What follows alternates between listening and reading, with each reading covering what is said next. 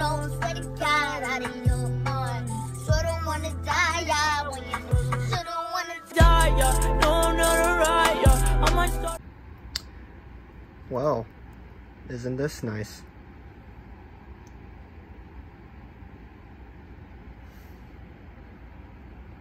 As you can tell, the caterpillars got much, much bigger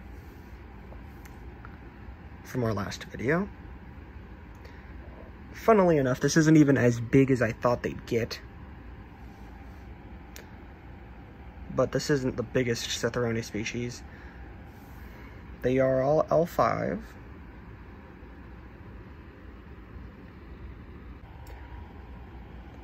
I just thought this would be a good time to update on how big they were getting. These are my three biggest. I still have a bunch of these guys. Apex. A bunch of L4s and a few small L5s that are, um, like this one back, please. You can have it, I guess. He fell off my finger. Um,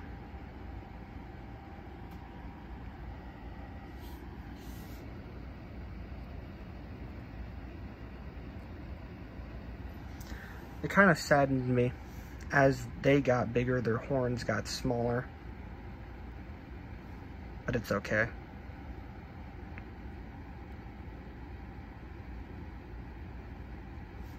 They have some interesting colors. Like this one's a pinkish, but I have one that's almost black.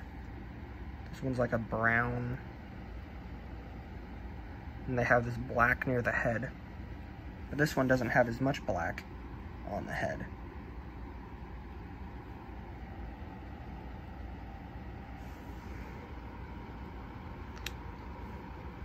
This isn't really a serious video, it's more or less just updating on these guys.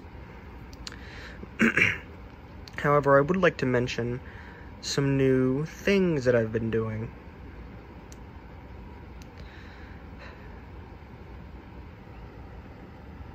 Oh, he's about to poop. Dope.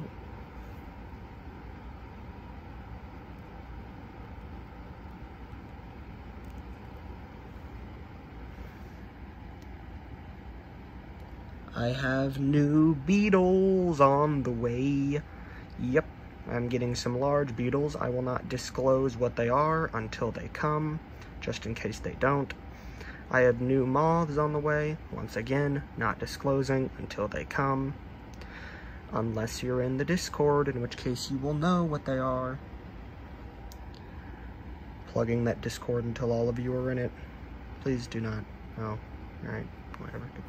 Get away. Yes, back on my hand. But I'm gonna, I was just changing their food and I thought this would be a good video idea. Oh, another one fell on my bed. Wonderful. So I was gonna put these back after I change their food and expect those new arrivals and uh, enjoy this video. Thanks guys, bye. Oh yes, I forgot to mention all of the um, Cecropias are pupated. I can show you that now. For the last two, we have Uno. He decided not to pick a cocoon. And we have Dose. He made a cocoon. Don't worry about the no cocoon, happens all the time. We're good. Okay, goodbye now.